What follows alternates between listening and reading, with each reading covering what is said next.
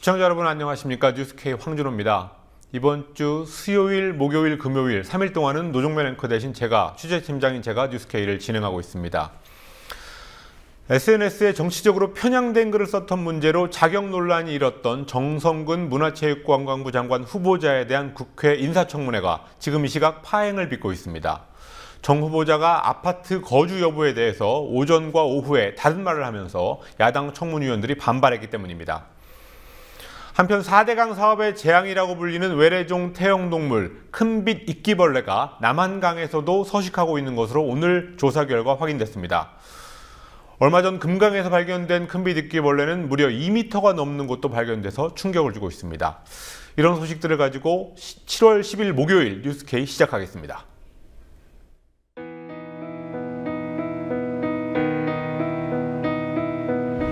1960년 4월 19일 당시 언론은 빨갱이 데모라고 했습니다. 지금 우리는 혁명의 역사로 기억합니다. 1980년 5월 18일 당시 언론은 불순분자의 폭동이라 했습니다. 지금 우리는 독재에 항거한 정의의 역사로 기억합니다. 1987년 6월 10일 당시 언론은 대학생 가두 시위라 했습니다. 지금 우리는 민주주의를 쟁취한 감격의 역사로 기억합니다.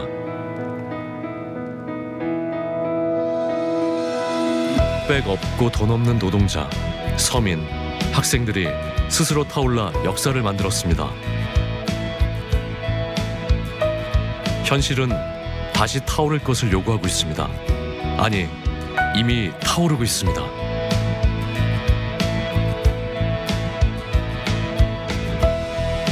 빨갱이를 종북으로, 불순분자를 외부 세력으로, 언론은 말만 바꿨을 뿐 역사를 부정하고 있습니다. 2014년 4월 1일 국민TV가 개국한 이유입니다. 국민TV는 역사를 역사로 기록하겠습니다.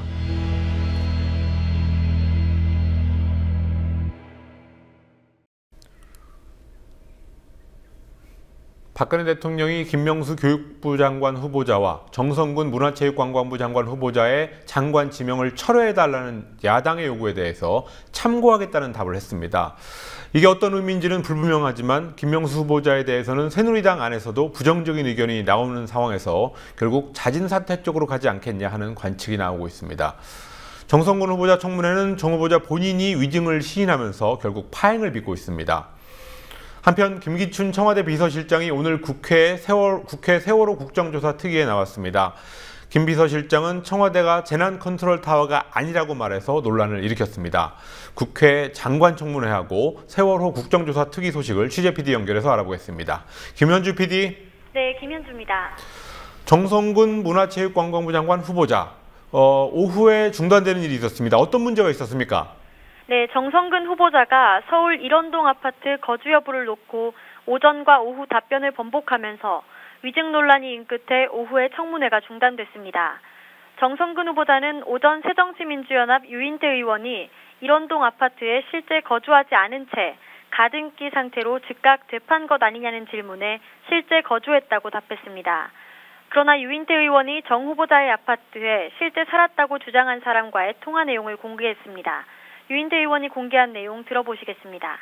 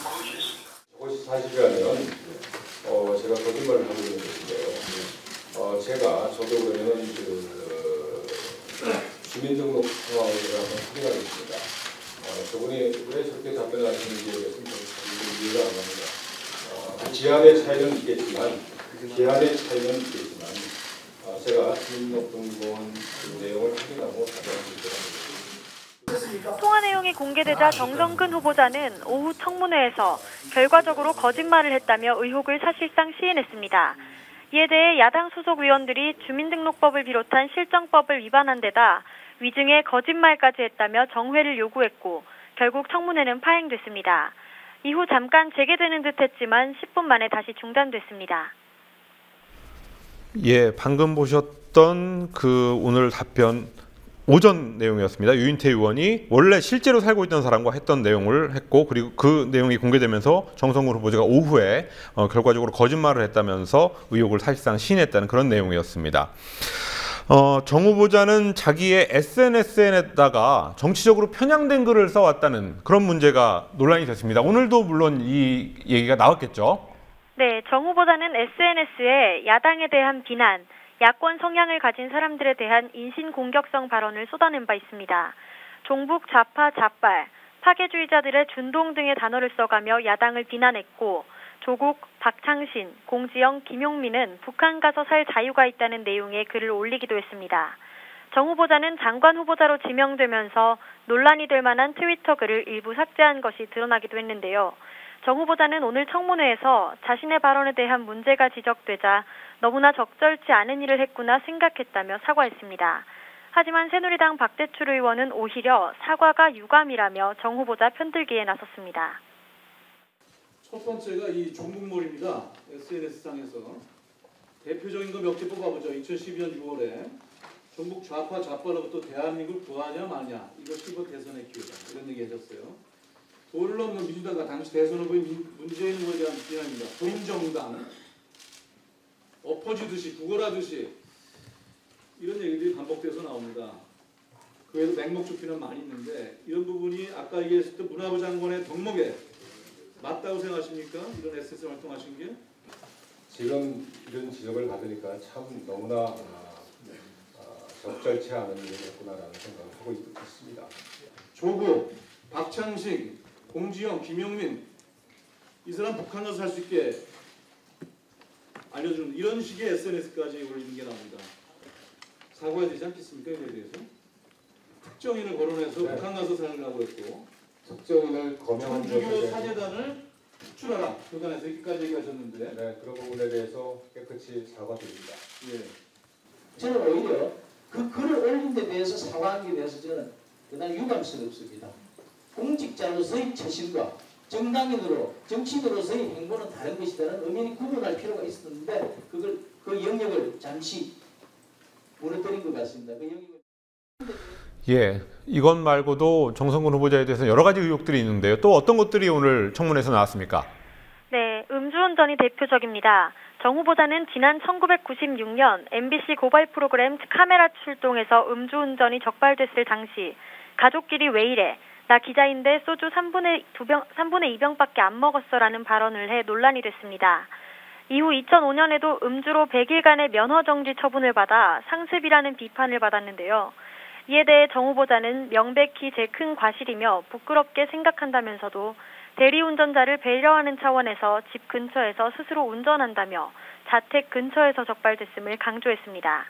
딸의 불법 조기 유학, 유학 의혹에 대해서는 그 시절에는 인식하지 못했다고 답변했습니다. 예. 김명수 사회부총리 겸 교육부 장관 후보자 청문회 어제 오전에 시작됐다가 오늘 새벽 1시경에 끝이 났습니다. 어, 사교육 업체 아이네스쿨 주식 거래 관련 의혹이 어제 나왔었는데요. 그 의혹은 정리가 됐습니까? 어, 김명수 후보자는 청문회 내내 아이네스쿨의 공식 책임 임원- 임원으로 근무했던 매제를 통해 기업 내부 정보를 얻어 내부자 거래를 했다는 의혹을 샀습니다. 첫날 오전에는 조교가 주식을 하라고 해서 했, 했다고 주장하다가 오후에는 매제가 다니니까 흥미가 생겨서 샀다고 말을 바꿨습니다. 그러면서도 내부자 거래라면 손해보는 게 말이 되냐며 억울함을 호소했는데요. 손해를 봤다면 손해, 이윤을 확인해달라는 야당 의원들의 요구에는 추후에 생각해보겠다고 회피해 논란을 키우기만 했습니다. 예, 이런 김명수 교육부 장관 후보자에 대해서는 진보 성향의 교육단체 전교조는 뭐 물론 과거부터 얼마 전 처음부터 부적격이라고 했고요. 그런데 보수 성향의 단체 교총, 한국 교원단체 총연합회, 교총까지도 한 목소리로 김, 목소, 김 후보자의 사퇴를 요구하는 그런 상황입니다.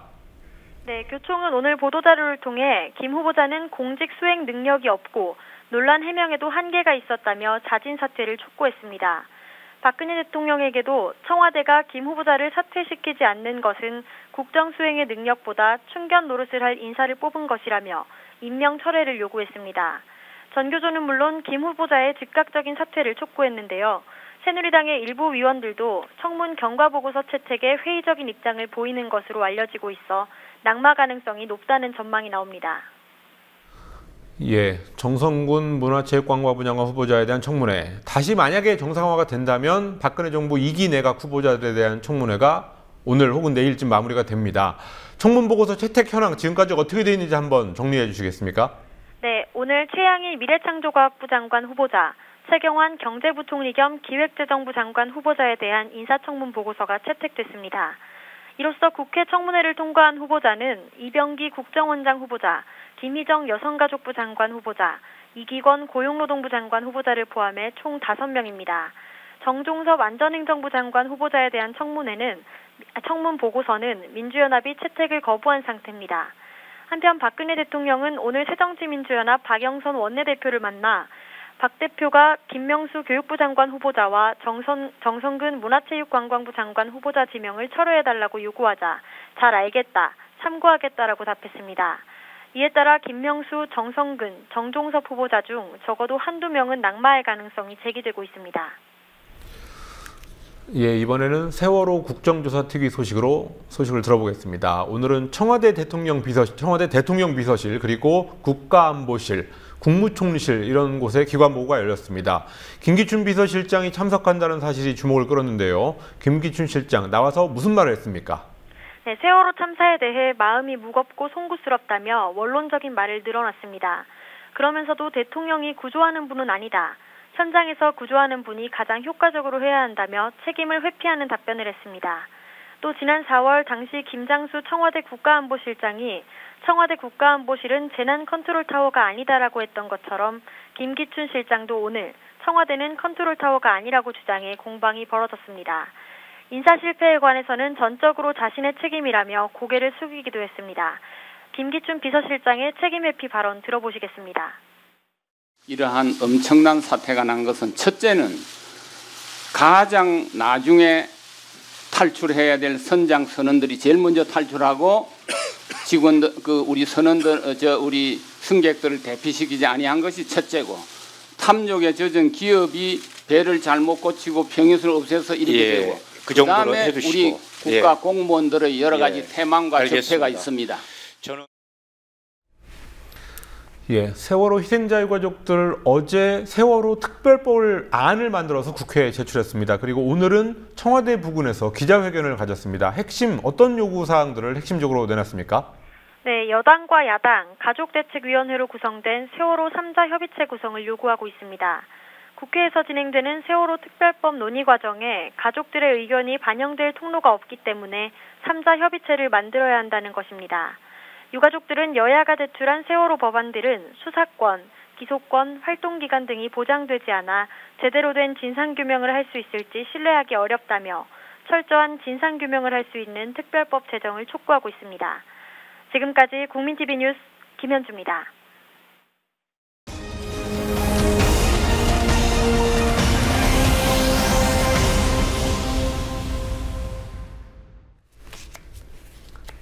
새정치민주연합의 동작을 전략공천에 항의해 농성을 벌여왔던 허동준 전 지역위원장이 일주일 만에 당의 결정에 승복하면서 공천 파동이 진정 국면에 접어들었습니다. 그렇지만 공천 파동을 겪, 거치면서 입은 내상이 만만치 않아서 730 재보선 본게임에서 민주연합이 좋은 성적을 낼 수 있을 기반이 크게 흔들렸다는 평가가 나오고 있습니다. 환경단체들이 명박벌레, MB벌레라고 불러야 된다고 하는 큰빛 이끼벌레가 4대강 사업이 진행된 경기도 여주 남한강에서도 서식하고 있는 것으로 오늘 확인됐습니다. 오늘 나온 주요 뉴스들 김용민 PD와 함께 정리해 보겠습니다. 안녕하십니까? 안녕하십니까. 민주연합의 허동준 전 동작을 지역위원장 결국 당의 결정을 승복하는 발표를 했습니다. 네, 그렇습니다.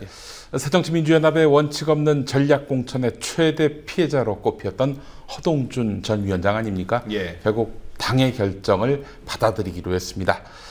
허동준 위원장은 당 지도부가 기동민 전 서울시 정무부시장을 동작을에 공천한 데 반발해서 일주일 동안 당 대표실에서 농성을 벌여왔습니다.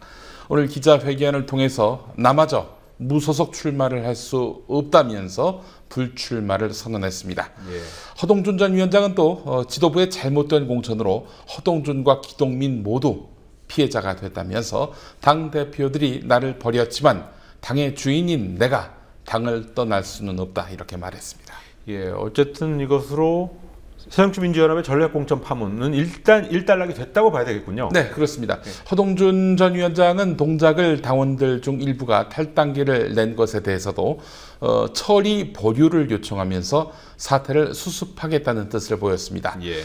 권은희 전 수사 어, 수서경찰서 수사과장을 전략 공천한 광주 광산을의 경우도 박지원 의원계로 분류되는 김명진 전 원내대표 비서실장이 오늘 승복의 뜻을 밝혔습니다. 오늘과 내일 이틀 동안 후보 등록을 해야 하기 때문에 무소속 출마를 강행하지 않는다면은 이제는 승복할 수밖에 없는 상황입니다. 뭐 그런 물리적인 이유로 공천 파동이 정리되고는 있지만 상처는 오래 갈 것 같습니다. 무엇보다도 민주연합의 선거 전망이 밝지 않다는데 문제가 있습니다. 예, 이런 민주연합의 공천 파동에 대해서 예. 정동영 상임 고문이라든지 예. 또 이해찬 전 총리, 박지원 의원 이런 일종의 당의 지도급 혹은 중진 인사들이 어제 오늘 쓴소리를 계속 하고 있습니다. 네, 그렇습니다. 이 정동영 상임 고문은 오늘 YTN 라디오 인터뷰에서 공천 과정의 문제점에 대해서 여러 가지 말을 했습니다. 그러면서 안철수 대표에게 직격탄을 날렸는데요.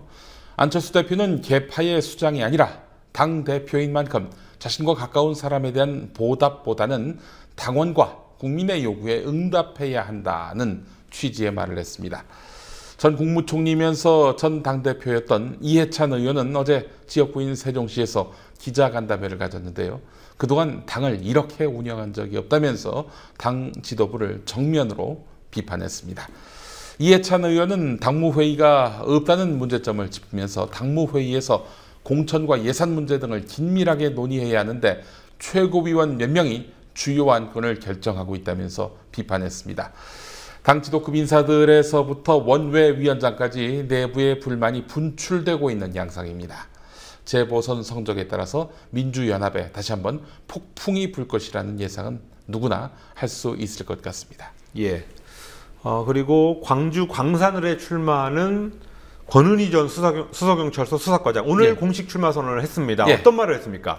오늘 그 광주시 의회에서 출마 기자회견을 열었는데요. 예. 스스로 부족하다고 생각했지만 많은 분들의 권유를 외면하기 어려웠다라면서 출마 이유를 밝혔습니다. 특히 국정원 댓글 수사의 축소와 은폐를 폭로한 행위의 진정성이 이번 선거 출마로 훼손됐다는 논란도 제기되지 않았습니까? 예. 이에 대해서는 진정성은 밝혀진 진실에 의해 담보되는 것이라고 믿는다 이렇게 말했습니다. 이 부분에 대해서는 오늘 아침 CBS 라디오에서 했던 말도 덧붙여서 소개해드리지 않을 수가 없는데요. 객관적인 사실이 있고 진실이 드러난다면 나의 폭로의 진정성을 더 확고하게 해줄 것이다 이런 예. 말을 했습니다. 전략 공천 과정이 적절했는지의 문제와는 별개로 박근혜 정부로서는 긴장할 수밖에 없는 경고를 한 셈입니다. 예, 새누리당이 오늘 권은희 과장의 그 전략 공천에 대해서 집중 공격을 한 것도 결국은 어떻게 보면 말씀하신 대로 진정 그런 권 과장의 진정성을 훼손시키겠다 이런 의도가 있다고 봐야 되지 않을까요? 예, 그렇습니다. 아, 우선은 그 민주연합의 공천 파동을 공격해서 재보선 상황을 유리하게 만들겠다는 계산이 있을 겁니다. 아, 그렇지만 길게 봐서는 권은희 전 과장이 국회의원이 돼서 국정원 대선 개입 문제에 대해 더 중요한 폭로를 할 경우 거기에 대비해서 사전에 권은희 깎아내리기를 함으로써 권은희 이 후보의 진정성에 먹칠을 가하겠다 그런 의도가 엿보입니다. 예, 그래서 구체적으로 어떤 말을 했는지 좀 소개해 주시죠. 예, 조혜진 의원 친이명박계지요. 예. 어, 조혜진 의원의 비난이 가장 전형적이었습니다.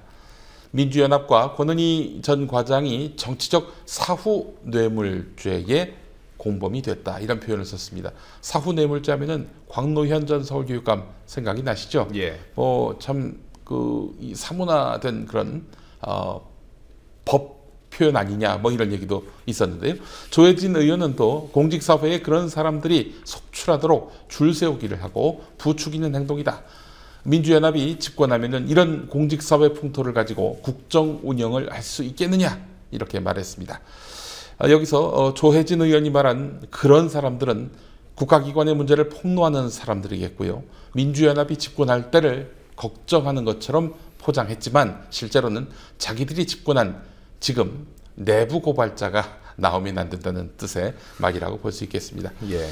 에, 그리고 궁극적으로는 권은희 과장이 마치 정치적 이익을 위해서 내부 고발에 나선 것처럼 어, 색칠을 하겠다는 목적이 있는데요. 앞으로 이런 식의 연설을 많이 보게 될 것 같고요. 오늘 조선일보의 사설 내용도 그러했습니다. 예.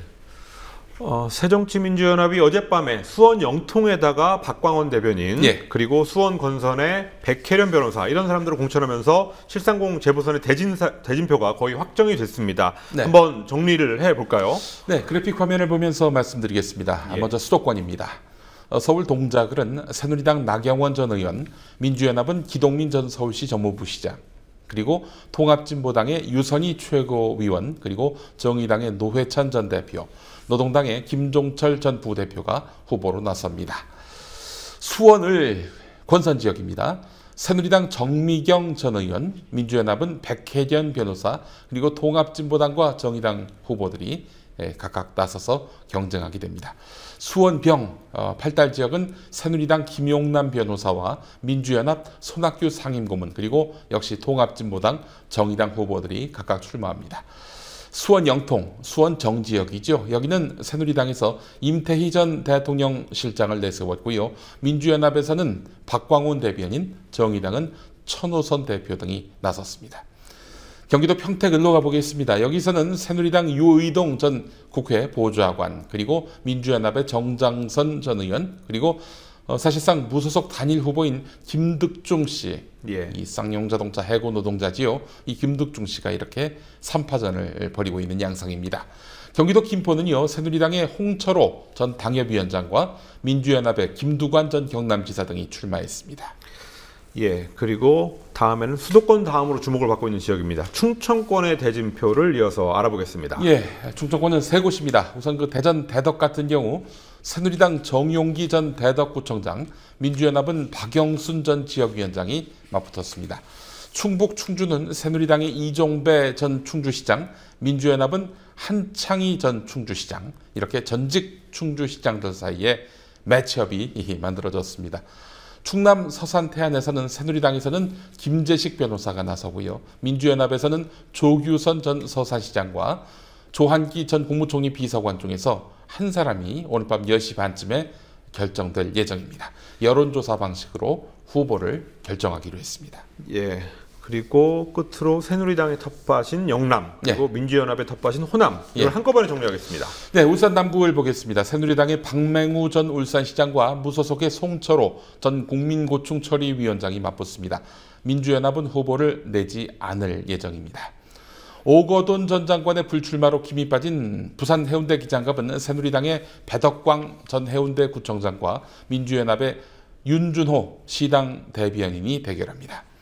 호남으로 가보겠습니다. 광주 광산을은 민주연합의 권은희 전 수사과장을 비롯해서 새누리당, 통합진보당, 정의당 후보들이 각각 출마합니다. 전남 담양, 한평, 영광, 장성은 새누리당 이중효, 민주연합 이계호 후보가 나서고요. 나주 화수는 새누리당 김종우, 민주연합 신정훈 후보가 각각 출마하게 됩니다. 그리고 끝으로 순천 곡성은 박근혜 대통령의 복심이라 불리는 이정현 전 홍보수석이 새누리당 후보로 나서고요. 어, 새정치민주연합에서는 서가번 전 의원, 통합진보당에서는 어, 이성수 전 전남지사 후보가 격돌하게 됩니다. 예. 이렇게 15곳의 후보들을 정리해봤습니다. 예. 아직 미- 새정치민주연합의 한 곳만 정리가 되지 않은 그런 상황입니다. 그렇습니다. 충남 서산 태안. 내일까지가 마감이니까 뭐 오늘 밤 안으로는 결정이 될 겁니다. 예. 그리고 이제 관심을 끄는 거는 민주연합과 정의당의 야권 연대 가능성. 네. 어떻게 봐야 될까요? 선거일까지 한 20일 남았습니다. 예. 일단 그 신경전을 벌이고 있다고 봐야 할 텐데요. 어제 정의당이 민주연합에다가 야권 연대 관련 당대 당 협상을 제안했는데요. 민주연합이 공천 파동 때문에 정신을 못 차려서 그런지 응답하지 않았습니다. 자 그렇지만 결국에는 일부 지역에서 후보 단일화가 시도될 텐데요. 노회찬 전 의원과 천호선 대표가 가장 중요하다는 분석입니다. 한 사람이 양보를 하고 한 사람은 양보를 받아서 최소 한 곳을 보장받겠다는 목표를 정의당이 가진 것 아니냐 이런 관측이 조심스럽게 나오고 있습니다. 뭐 아직은 섣불리 말할 단계가 아니라서 뭐 이 정도만 말씀드려야 될 것 같습니다. 예, 20일 정도가 남아 있으니까요. 예. 이제 본격적인 협상에 들어가지 않을까 이런 예상을 할 수 있겠습니다. 네. 아, 정치권 소식은 이 정도로 하고요. 다른 소식을 알아보겠습니다. 예. 금강산 관광이 중단된 지 6년이 된다. 이런 보도가 나왔습니다. 예, 이명박 정부 첫 해였던 2008년 7월 11일 고 박광자 씨 피격 사망 사건 다음 날부터 금강산 관광이 중단됐지요. 내일이 박광자 씨의 6주기고요. 예. 올해는 관광 중단 6년이 되는 날입니다.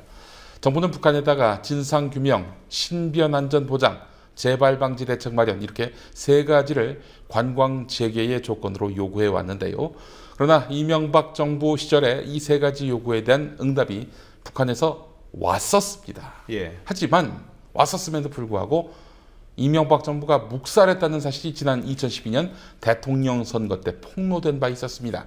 결국 금강산 관광이라는 김대중 노무현 정부의 유산을 이명박 박근혜 정부가 이어받고 싶지 않아서 이렇게 됐다고 봐야 할 것 같습니다. 금강산에 투자한 49개 기업 대표자들의 모임인 금강산 기업인 협의회는 오늘 남북 당국자들은 금강산 관광 재개와 이산가족 상봉을 위한 실무회담을 즉각 실시하라고 요구했습니다. 예. 육, 금강산 관광 중단 6주년 소식이었습니다. 네. 경북대가 이명박 전 대통령한테 명예박사학위, 명박을 주려고 하다가 논란 끝에 잠정 보류했다는 소식이 오늘 들어왔습니다. 예, 그렇습니다. 아, 이명박 명박이 될 뻔했는데 말이죠. 예. 경북대가 아, 국가 경영에 이바지한 공로로 이명박 전 대통령에게 명예 박사 학위를 주려던 계획을 학내외 반발 끝에 결국 보류했습니다. 일단 형식은 이랬습니다. 이명박 전 대통령 측에서 대학에다가 감사의 뜻과 함께 고사의 뜻을 전해왔다는 겁니다. 그래서 경북대는 그 의견을 존중하겠다고 어제 밝혔는데요. 어, 명박 수여식은 오는 16일에 있을 예정이었습니다.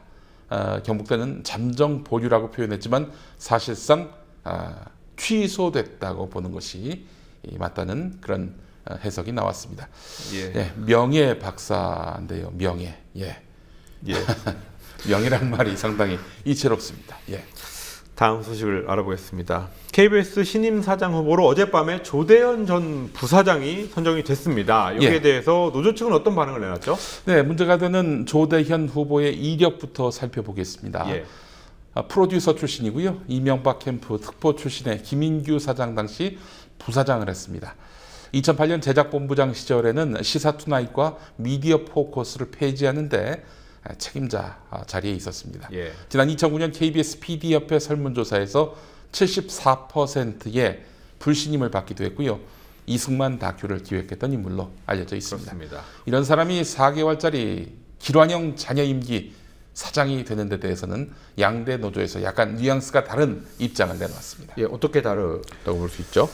구노조라고 불리고 일노조라고도 불리는 KBS 예. 노동조합은 부적격자라고 평가하면서 사장으로 인정하지 않겠다 이런 강경한 입장을 내놓았습니다. 반면에 새노조라고 불리는 전국 언론노조 KBS 본부는 부적격자라고는 했지만 몇 가지 조건을 내걸었습니다. 사장 선정에 있어서 특별 다수제 등 방송법 개정을 추진한다. 취임 1년 후에 신임 평가를 받는다. 그리고 주요 국장 임명 동의제를 에, 시행한다. 그리고 부당 인사 아, 원상 회복과 인적 쇄신 등을 요구 조건으로 내걸었습니다. 어, 조대현 후보자가 사장 면접 당시 국장 임명 동의제, 국장 책임제를 제시한 것으로 알려졌는데요. 어느 정도 여지가 있는 것 아니냐는 분석이 조심스럽게 나오고 있다고 어, 미디어 오늘이 진단을 했습니다. 어, 제가 4개월 남았다라고 말씀드렸나요? 예. 1년 4개월이죠. 아, 예. 그러니까 내년 11월에 그렇습니다. 새 사장을 또 선출하게 됩니다. 자, 어, 그렇지만은 청와대의 의지가 중요하지 사장이 면접할 때 면접할 때 했던 말이 무슨 의미가 있겠느냐라는 뭐 냉소적인 이야기도 지금 나오고 있습니다. 예. 다음으로는 4대강의 재앙이라고 하는 큰빛 이끼벌레. 남한강에서도 발견됐다는 소식이 나왔습니다. 예, 4대강 범대위와 민주연합의 4대강 진상조사위원회가 오늘 여주시 금사면 남한강 이포보 선착장 인근 강 중앙과 강변 바닥에서 큰빛 이끼벌레가 서식하는 것을 확인했습니다. 이로써 이로써 낙동강, 금강, 영산강에서 큰 빛 이끼벌레가 발견된 데 이어서 오늘은 또 한강에서도 나온 것입니다. 예. 정체된 수역, 그러니까 오염된 수역에서 어, 이렇게 서식하는 것으로 알려진 큰 빛 이끼벌레 이로써 4대강 아, 모두에서 발견이 된 겁니다. 민주연합의 이미경 의원은 4대강 사업 이후 수질이 더욱 악화되고 있음을 보여줬다면서 수문 개방을 포함한 4대강 사업 전반에 대해서 논의할 때가 됐다라고 주장했습니다. 또 금강에서 발견된 큰빛 이끼벌레는 어, 성장이 아주 빨라서 무려 2m가 되는 게 발견됐다고 오마이뉴스가 오늘 보도했습니다. 예. 끝으로 일본 자위대 창설 기념 행사가 서울 시내 한복판에서 또 열릴 계획이라고 해서 지금 파장이 일고 있습니다. 2004년 6월에도 그때는 50주년 행사가 있었죠. 예. 정확히 주한- 10년 전입니다. 그렇습니다. 예. 주한 일본 대사관 주최로 내일 오후 6시 반 서울 소공동 롯데 호텔에서 자위대 창설 60주년 기념식이 열립니다. 일본 대사관은 최근 국내 정관계와 경제계 인사 그리고 주한 외국 대사관 관계자 등 500여 명에게 초청장을 보낸 것으로 알려졌는데요. 이에 대해서 외교부 대변인은 주한 공관에서 하는 행사에 대해 언급할 필요성은 없다고 본다. 아, 그런 행사가 매년 개최 개최됐다는 것으로 알고 있다 이렇게 말을 했는데요. 우리 정부가 어떻게 할 수 없다는 다소 무책임한 답변이라 하겠습니다. 예. 한편 이번에 서울 동작을 새누리당 후보로 나서는 나경원 전 의원 2004년 자위대 창설 50주년 행사에 참석해서 거센 비난을 받은 바 있었죠. 그리고 10년 뒤 일본이 집단 자위권 행사를 선언하면서 전쟁할 수 없는 나라에서 전쟁할 수 있는 나라로 바뀐 상황에서 자위대 기념식이 열린단 말이죠. 예. 누가 그 행사장에 갈까? 한국 사람 중에 간 사람이 있다면 과연 누구일까? 아마 내일 어, 기자들의 에, 어, viewpoint가 될 것 같습니다. 지켜봐야 될 것 같습니다. 예. 이상으로 오늘 정성근 장관 후보자 청문회에서 가장 많이 언급됐던 이름 김용민 PD였습니다. 수고하셨습니다. 예, 고맙습니다.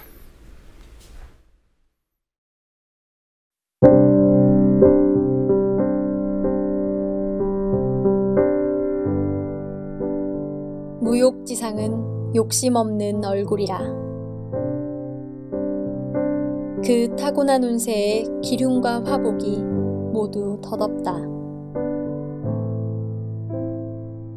자리의 높고 낮음과 재물과 이름이 들고 나는 것을 상관치 않으니 일생이 고요하다.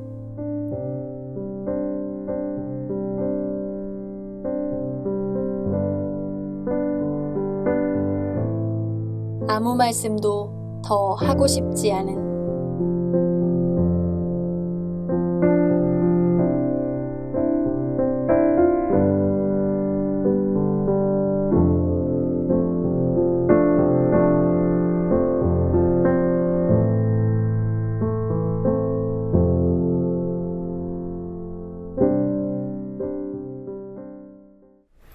이상으로 7월 10일 뉴스케이를 마치겠습니다. 시청해주신 여러분 감사합니다.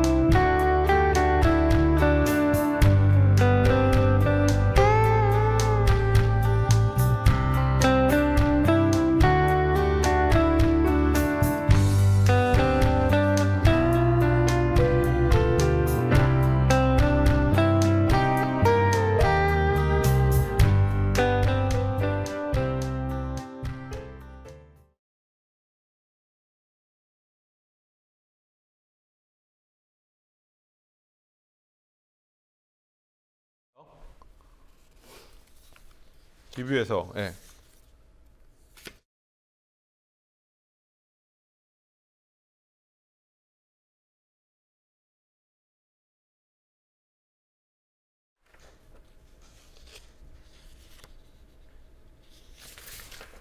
수서경찰서 수사과장 수석과장이라고 했어요? 아 전자는 굳이 안 넣으면 괜찮아요 예, 예. 예.